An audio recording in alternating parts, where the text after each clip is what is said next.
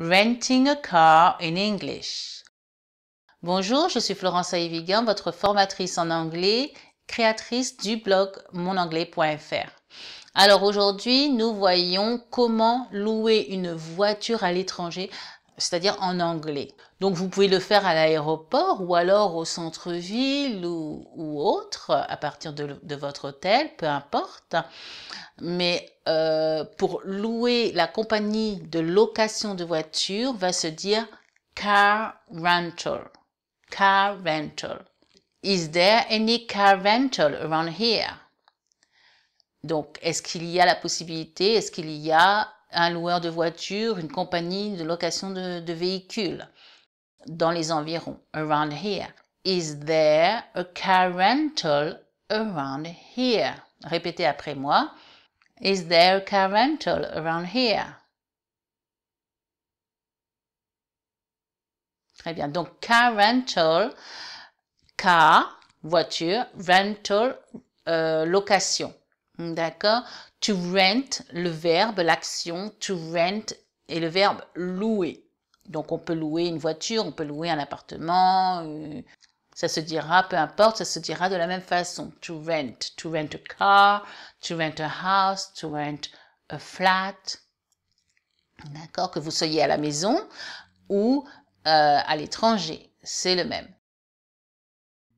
Is there a car rental around here? Around here, dans les environs, par ici. Donc vous pouvez demander à l'hôtel, à, à l'office du tourisme, peu importe. Where can I rent a car? Where can I rent a car? Où est-ce que, où est-ce que je peux euh, louer une voiture? Where can I rent a car? Répétez. Where can I rent a car? Très bien.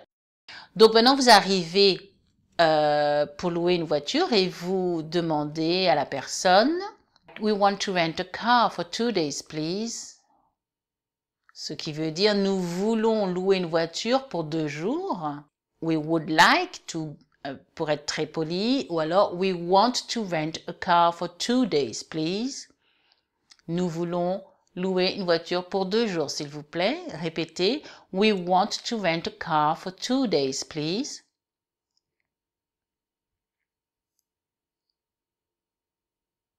Très bien.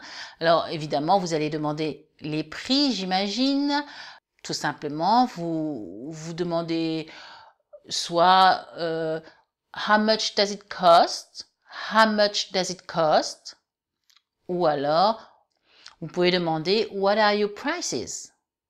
What are, parce que évidemment, il y aura plusieurs prix en fonction de la, de la durée, mais aussi de la voiture que vous choisissez. D'accord, le kilométrage également. Bref. What are your prices? What are your prices? Donc la personne pourrait vous demander euh, quelque chose comme Where would you like to return it? Où voudriez-vous la retourner?